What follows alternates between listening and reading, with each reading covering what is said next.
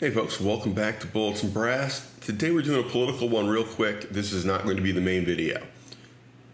Euro- eh.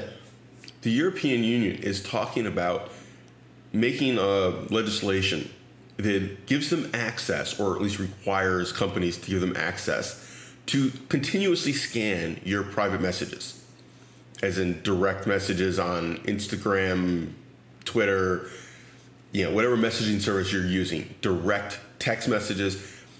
It basically says you are not allowed to communicate electronically without us reading your mail. That is not okay. That's it's just not. The the enhanced ability to spy on legally from their perspective. They, they're passing laws to make this okay to spy on the population en masse. Okay, not not hey, we have a warrant to spy on you know Joe Smith because he is suspect of doing X, Y, Z, and we presented evidence to a judge. Even that gets abused, but at least that has a process. This is the ability to just spy on everybody.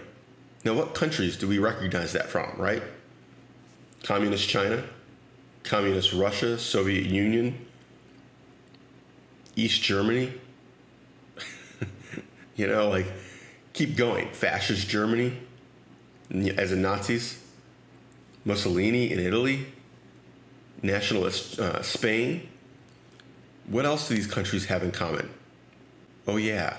At some point, they took the information from that spying and they murdered huge chunks of their population. Let's not go down that road, shall we? Let's not.